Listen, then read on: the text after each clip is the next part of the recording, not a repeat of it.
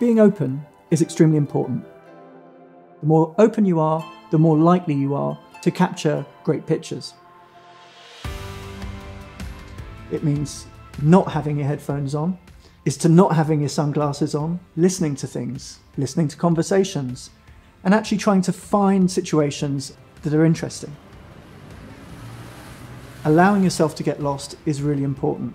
In getting lost, you often find things. One of the key things with street photography is to find good places to actually stand and photograph. And one of the things that I tend to do is use the phone to sketch. There's nice light on the floor, so I'm going to take a picture of it. Sketching is just pressing the button, getting into the, the, the journey. Get yourself going. You know, don't, don't paralyze yourself. Nothing's going to be a masterpiece until the masterpiece turns up. Finding a few things that interest you on your way that you pick up, almost like memories. And I remember that there's nice light here on the floor. I'll come back to this some other time. It's almost like an artist would sketch a few thoughts, or maybe just loosely pen a scene. You know, this hat, is interesting.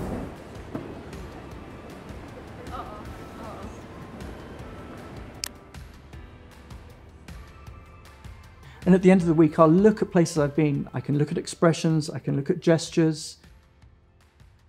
If you have these scenes and these thoughts in your phone, you can go back to the places, you can go back to those thoughts and refine them.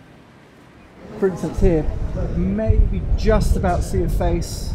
For me, the pictures tend to resemble my personality. They tend to almost be a self portrait. I don't know, maybe. When you go out with a positive mindset, you also stay hopeful. And hope with street photography is very important.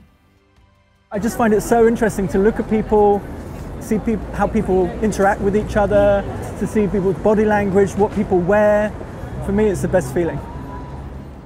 Get out there, start sketching, start taking pictures, keep positive, and you'll find that anything can happen.